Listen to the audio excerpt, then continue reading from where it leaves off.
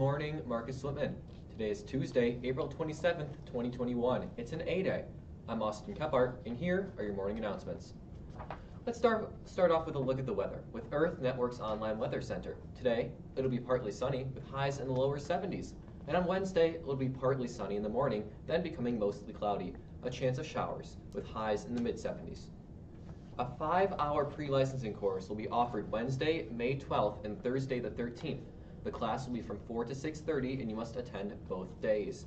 It'll be taught virtually and the cost is $30. You must register. If you have any questions, please contact Mr. P in room 511 or at pre, P. At mwcsd.org.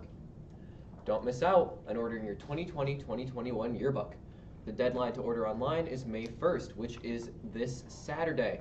You'll still be able to order a yearbook for Mr. Rowe or Mr. G after that. However, you will not be able to get it personalized. Just go to the MWCSD website, click on the Schools tab, go to the High School, and then all the way down on the left-hand side column, click on Yearbook. There's a link at the top of the page. Order yours today. Seniors, if you'd like to help plan the decorations for Senior Social, please meet in Mrs. Robertson's room during 10th period today. We'll meet and travel to Lincoln Hill to look around and get ideas.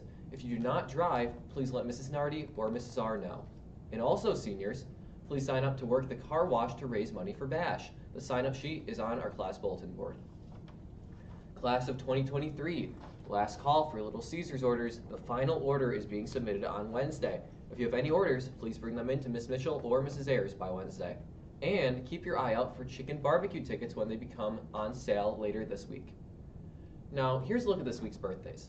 On Thursday the 29th, sophomore Hunter Hudson, and on Friday the 30th, junior John Lloyd. Happy birthday! And here's a look at this week's events.